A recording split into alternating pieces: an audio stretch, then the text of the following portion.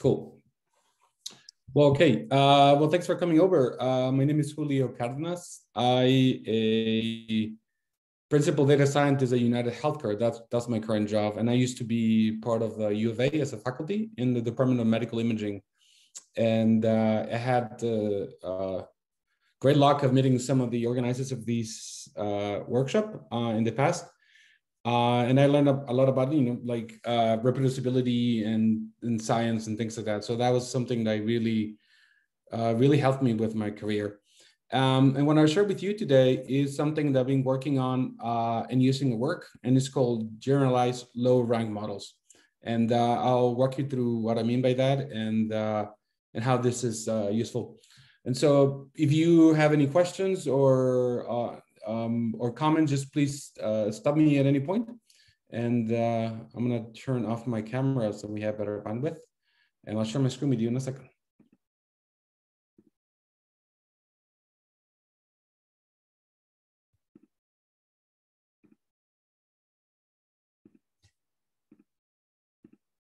Okay.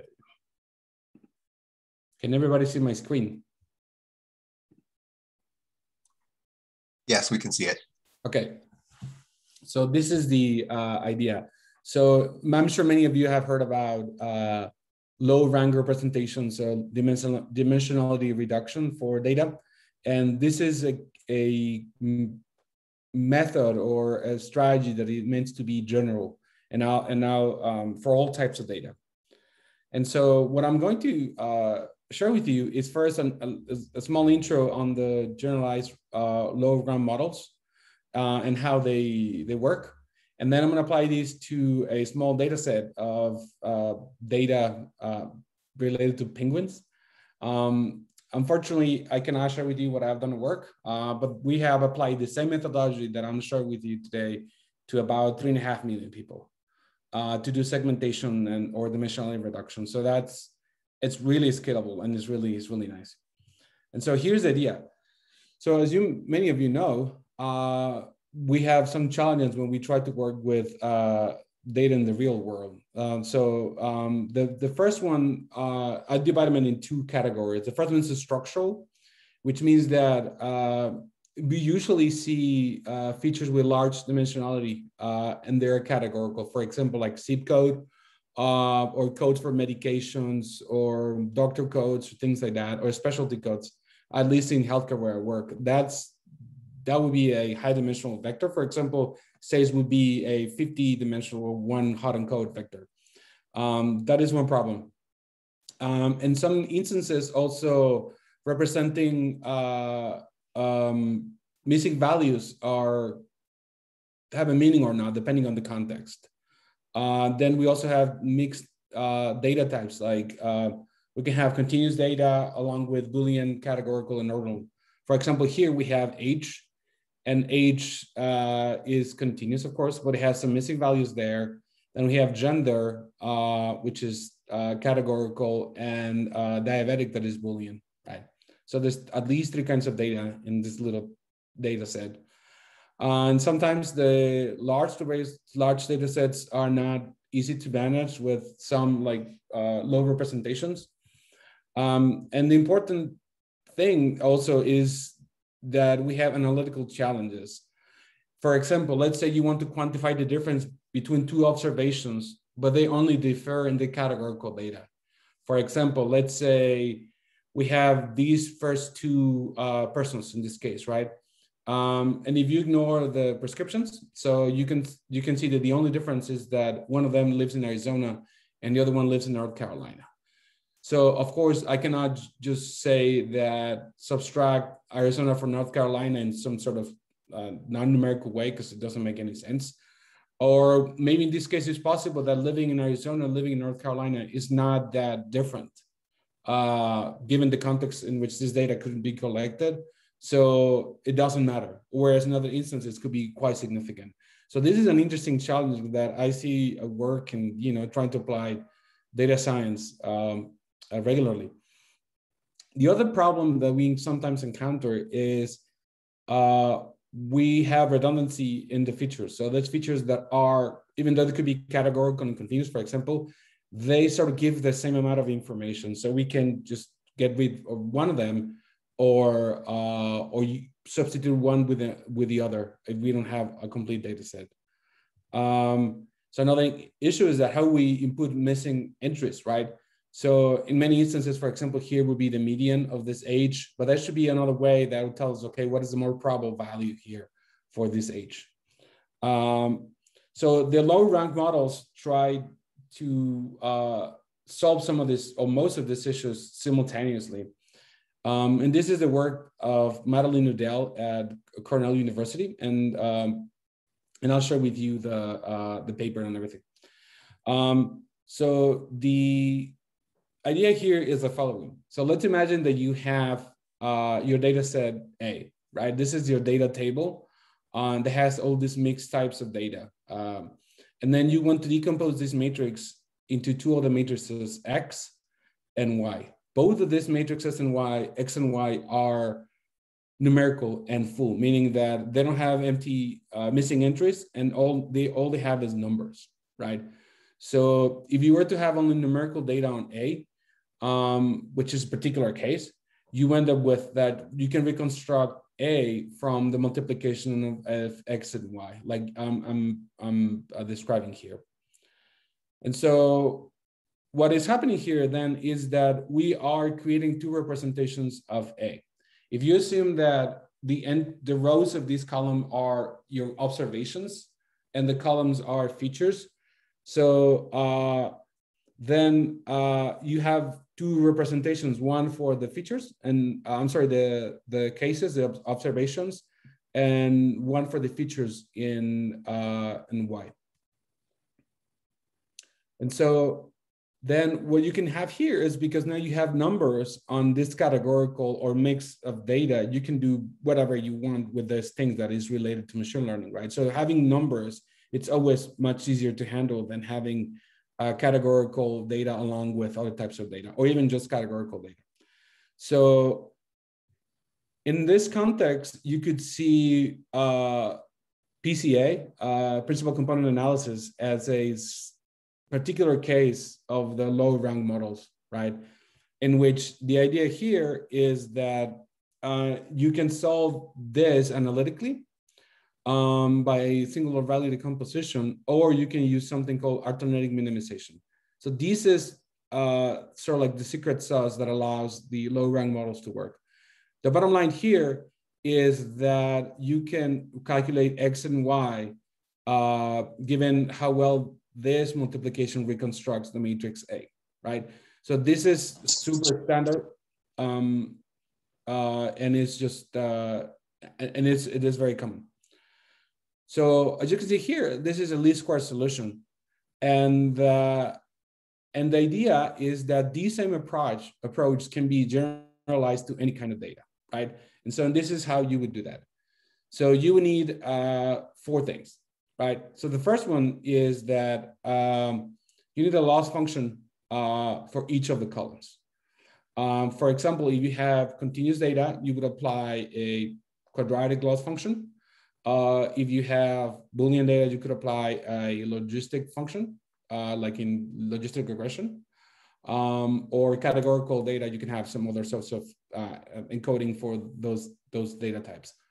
Um, and that's number one. Number two is that what this is describing is that you're only going to calculate this loss function on the observed entries. If you have a missing value and, and an ij entry of A, you basically ignore it. Um, the other two things that you need is regularization. That means is that you are going to uh, add some penalty to these loss function uh, for X and Y. And what this does is that allows you to have some structure in your uh, data. And so it's easier to find a, a true solution to this uh, problem, right? And so, like I mentioned before, the idea is that because you have different data types, you will use different uh, loss functions. So if I, you have real data, you have all these possibilities. Um, where, for example, like you have integer counts in your data, you can use a Poisson, Poisson loss function because you know that your data it has a Poisson distribution. So the bottom line is that this makes it general. So this is a general framework to uh, reduce the dimensionality of data. Um, and so, and then a consequence of this is that if you choose uh, the regularization uh, and the loss function um, properly, what you end up with is some of the uh, other known dimensional reduction techniques. For example, if you use a quadratic loss uh, for both x and y and no regularization on x and y, you end up with PCA. So PCA is a particular case of this. Um, oops, that didn't work. Um, then if you have quadratic uh, losses on x and y, and then you have this uh, non-negative constraint regular, uh, uh, regularization on your data, you end up with non-negative matrix factorization, which is a known, you know, entity. A very interesting one is that if you use quadratic losses on x and y, um, no regularization on x, and then you tell that you want this kind of const uh, constraint, meaning that only one of the entries of each, so for each row of y, only one of the columns can be non-zero. So this what it means you need one sparse.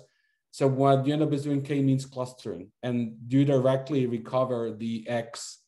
Uh, uh, X is going to tell you the uh, um, I'm sorry the the cluster for each one of those observations, and so and then all the other cases are recovered here. Uh, Udell, um, Madeleine Udell uh, wrote a paper that is enormous, like 70 pages or something, and all this is described there uh, and uh, and it's it's it's an excellent read. So, do you does anybody have any question until up to this point? I know it's a lot of math, but any questions?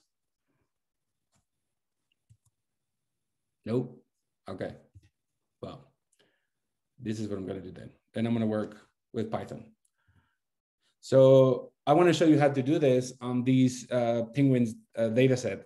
And the idea here is that this is easy to do and it has uh, some uh, uh, several kinds of features, right? So it's a species, uh, island. These are properties of the penguin's pick, the link, the this what they call it a bail, um, uh, the mass of the penguin and the sex of the penguin, right? So this is a nice case of um, um, mixed data. One of the reasons I started using this data set rather than the very famous iris data set. One is because this has mixed data types. And the other one is that Fisher has some, I think, eugenic kind of like views of life. And uh, yeah, I don't want to use his data sets. So uh, uh, that's not kosher for me. So, um, so let me actually get to the notebook. Um, uh,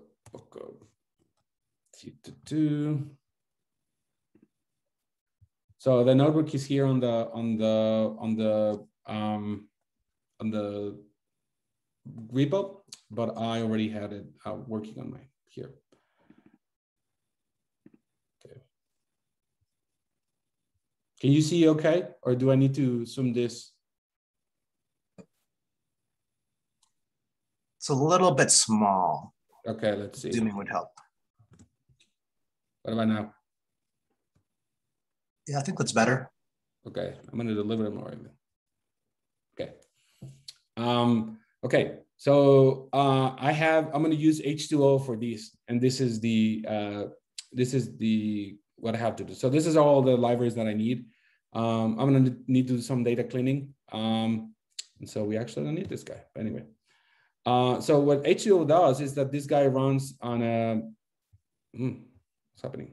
oh, on a little local server, and it does runs Java in the backend. Um, but this is a Python API. Um, and uh, there's I there's a GUI version of uh, of uh, H2O, but this I'm doing it programmatically. So the first thing is loading the data set as you had here. I'm gonna load it live. Um, and so you can see that here have some, you know, missing entries for these guys and uh, and have the data in different uh, orders of magnitude, right? So I had to scale it. So then the data has three types. The, the numerical columns that I'm describing here, this Boolean categorical. H2O handles both uh, Boolean and categorical data for the losses the same way. But if you were doing this in Julia, you actually will handle them differently if you wanted to, which is really nice. And so, okay, cool. And then uh, now I already rescaled the data. So what I did here is just, this is standard and, and, uh, and scalar. I'm just, oh. I am just centering scaling the data, right? So you can see now that the categorical data continues the same, but now this has mean zero and standard deviation one, right? So um, then the data has to be loaded into the H2O server. I don't know if you call it server, but then that's what you do there. Oops, what happened? No way, really? Are you kidding me? Oh, because I need to re finish it.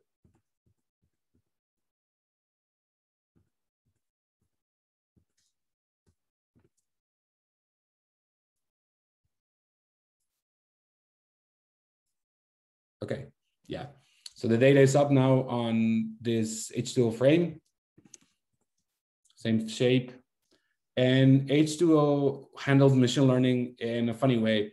So you have categorical data or anything that is not numerical, you need to specifically tell it that, like in R, I think, uh, that which columns are factors. And so in this case,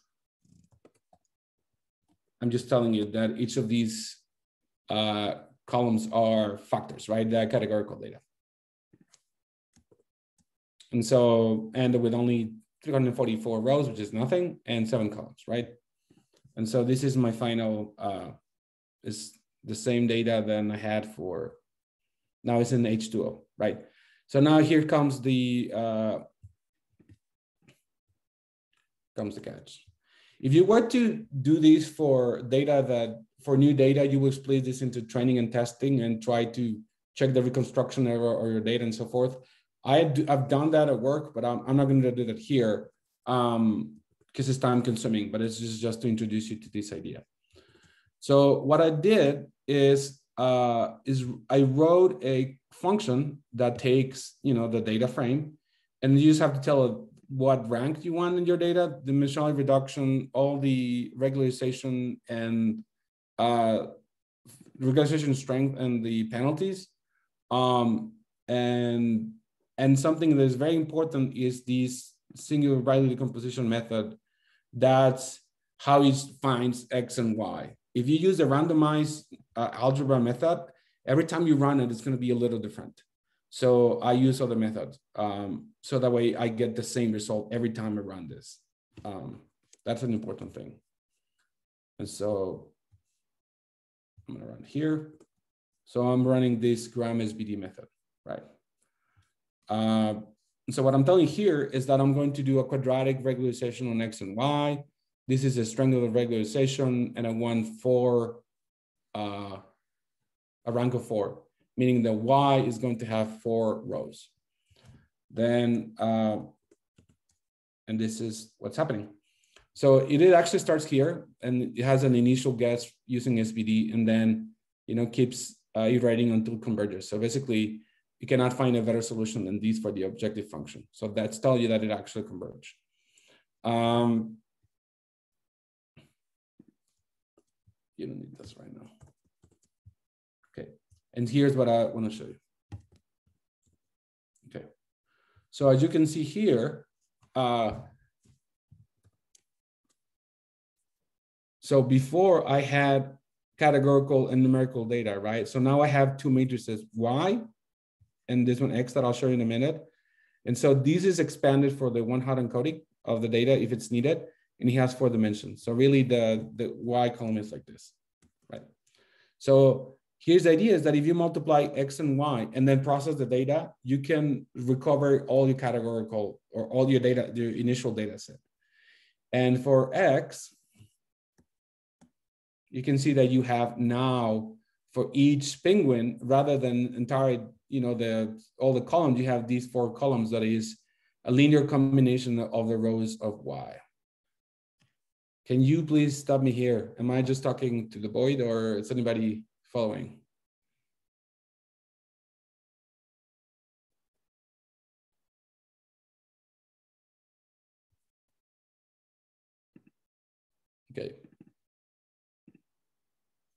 This is what happened. I'm going to tell you what I did. So this is the, you can take this Y matrix and all I'm doing is plotting the first two dimensions of this representation. You can see here that I have different types of data, right? So these are the features. So I'm looking at the features of the, of the matrix. So you can see here that I have the species. It is in this coordinates, whatever they are. in this categorical data. And then these are the species Biscoe. So you can tell you here that at least in this two-dimensional space, being in this species, uh, in this species, it is a different thing. So that is a very, very useful thing to do. Imagine that this was a person that has diabetes positive and not diabetes. So, and this will tell you a lot about them, right? Um, whereas if, for example, for your particular data set, the diabetes and non-diabetic uh, is not different, that will be close, like you have here, meaning that the, the flipper length, the feet length, and the body mass of the penguin they're about give you about the same information. So they are exchangeable in, in this, this two-dimensional space. So also the bill length, the peak length is very similar to these other guys. And interestingly, the, the sex of the, uh, the penguins is two. So what this is saying is that this categorical, or this Boolean feature sex, it is very similar to bill length and to body mass. So I think I recall that for these some of these penguins, it is the male the males are smaller. So whatever the direction is, but they are together here. They move together, size and sex of the penguin. Whereas, for example, some of them have no don't don't have that. I don't have a. I have nulls for those. So the nulls are in some other space. Um, here, the the species see it is chin strap. It is very different than the species over here, right? And so again, what's happening is that you can see that these two species are quite different. And again, um, the gender female here is closer to being to this other bill depth in millimeters um, and to being island from the dream island. So this end. So this is a very nice way of looking at your variables and see if they are different or not, right? Um,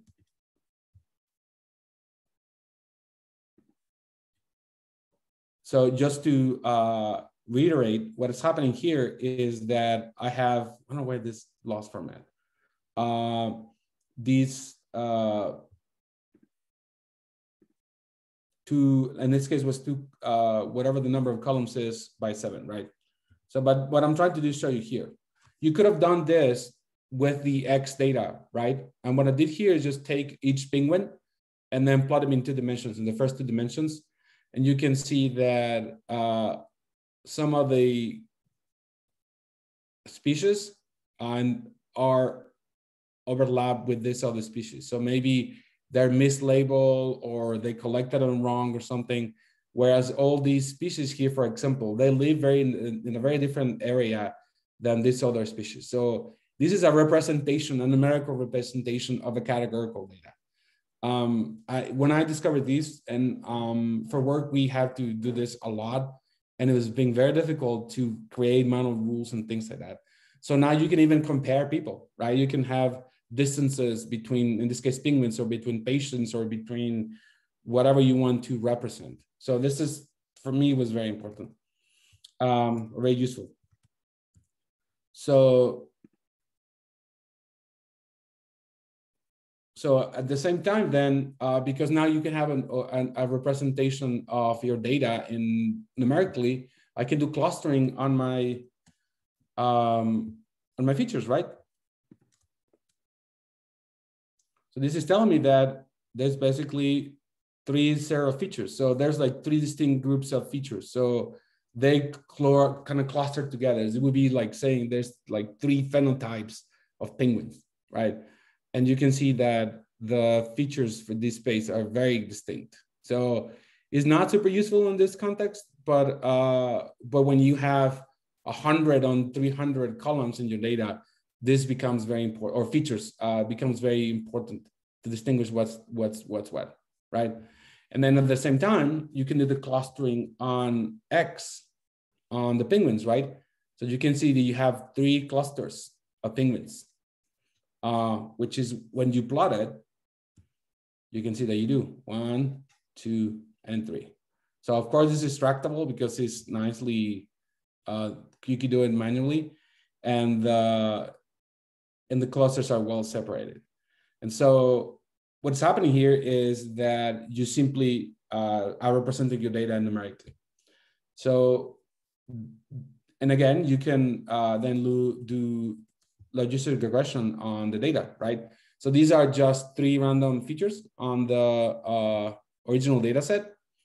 Uh, and what I did here is just took this, this four features that I created and I'm predicting the, I think the species. I mean, this is not, this is kind of cheating, it's super easy.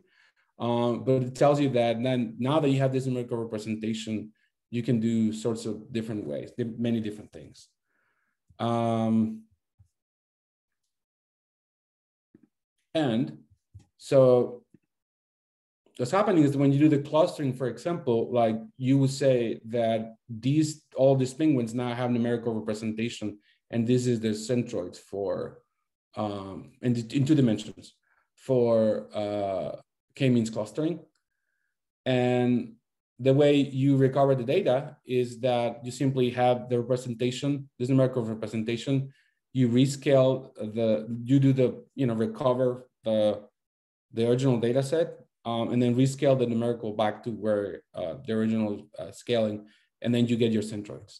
So this is super interesting. So imagine that you could say, okay, these are centroids for people who have chronic disease of whatever type versus uh, their uh, likelihood of recovering from heart from heart failure. Um, and so you can just distinguish members that way. I'm sorry, patients that way, or bi biology even.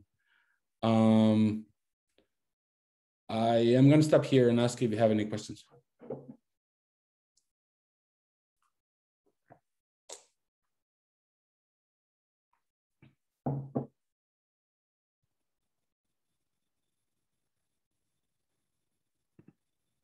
Oh, really? No one?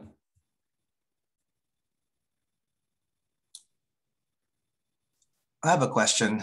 Um, mm -hmm. I don't, I'm not sure if it's best held for later uh, or now, but um, can you go, can you talk a little bit about selecting the, the parameters and the effects of changing the parameters when you run the, the low rank estimator function? Mm-hmm. And, you know, because I thought there's a few of them you kind of went by pretty quick, but things like, uh, you know, the regularization parameters uh, and what are the effects of kind of tweaking those? Yeah. Okay. Uh, let me just find it here.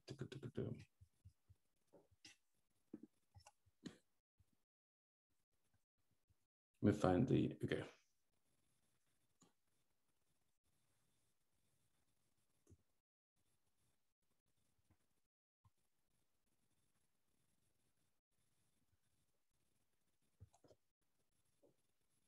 Okay, let's see.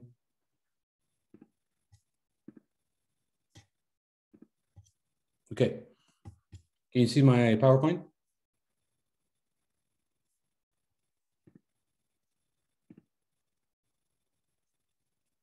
Can you guys see my PowerPoint? Yes. Okay. So um, so the effect is the following. So it is basically how your data will look like. Um, I didn't do it here, but given that you have, you can reconstruct the data this way, you can say, okay, I have divided the data into training and testing and say, okay, I reconstructed the data and I'm going to go check on my test data set if I reconstructed all the categorical features correctly and what is my error on the um, on the numerical features, right? And so, but the consequences of of this is that, for example, if you have this non-negative constraint, it is possible that your original data will not be able to recon be reconstructed properly. So then you will have an easy representation of the data where like you have a non, non-matrix factorization, but probably you will not get a great reconstruction of the data. um, on this k-means like uh, method, you get your clusters right away, immediately, but you have only a few options to reconstruct the data. So at the end of the day, what you're doing is taking rows of y, multiplying it by each of the columns of x to reconstruct a, if it's numerical like you have here. So there, if you don't give it enough rows to y, you, want, you don't have enough cases to reconstruct the data. At the end of the day, all the data in A, it's a linear combination of the rows of y. So those are the consequences. So if you are use, if you say that on only one non-negative, it would be possible that if you were allowing negative numbers on X, for example, you have a better reconstruction. Like kind of you do with non-negative matrix factorization that if your data is non-negative, it's going to work fine. But if your data uh, doesn't fulfill those properties, is not going to reconstruct the data prop, uh, well. And so I'm actually going to, I can even play with that here. Um, let's see. Let's see, da, da, da, where's this?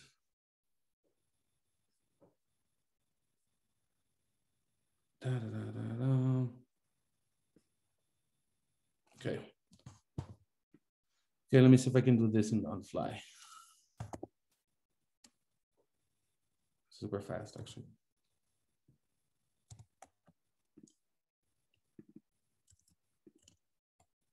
Mm,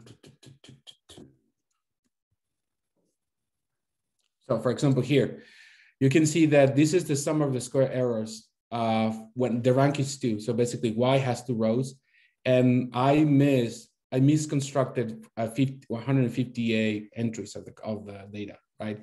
Because I haven't here two, see? So that's one of the problems. Um, I'm gonna turn this into, uh, I think it's non-negative.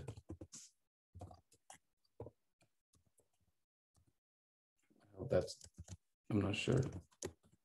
Yeah, it is. See now, uh, the numerical error is much larger and also is the misclassification error. So if you recall, we have two kinds of data. We have the, the, the numerical data that I'm using a quadratic error and the categorical data. So uh, that's a problem. So you could say that, oh, this reconstructs my, or looks really nice when I look into the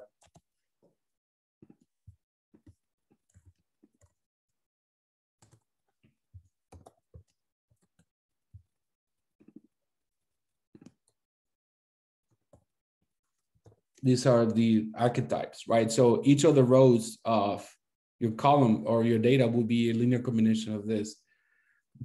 But um, the problem is that these might not be enough information to reconstruct all the data. So I'm going to change the rank now to four and see what it does, even though it's not negative. So remember, so it was 319 and 1,147. See? Now I, I uh, now reduce the error. So the way you know you will be overfitting is to do this in a training and testing uh, sort of like uh, framework. Um, so now my Y looks very different. It has four column, four rows, and I don't remember the keys.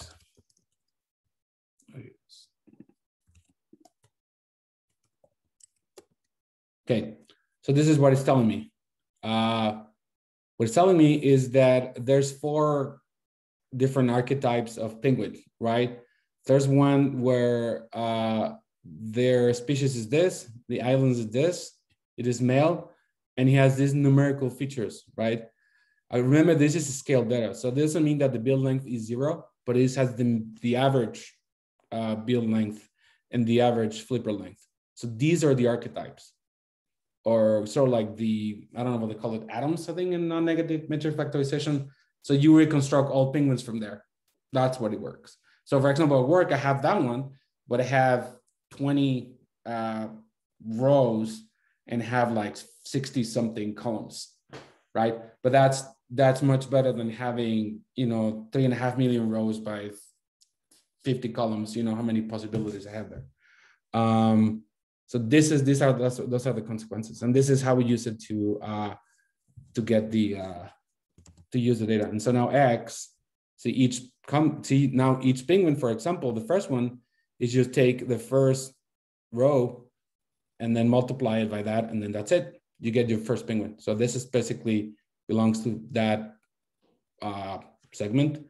The second penguin is taking the first row, multiply it by 0.10, then take the second, the last row, multiply it by 0.4 and add them up. And you get your data. That's, that's, that's how it works.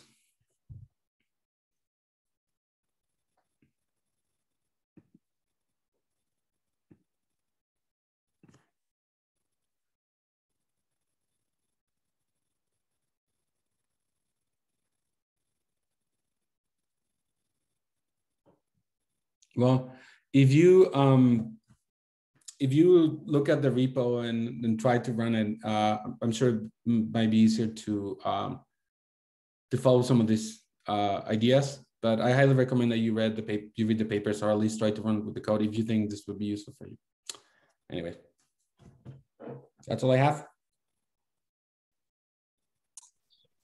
Great, thank you. That was really uh, interesting. Uh, this is a, a, new thing that I hadn't really delved into a lot, so I found it very useful. Okay, thank you. Bye bye. Thanks, everyone. Bye.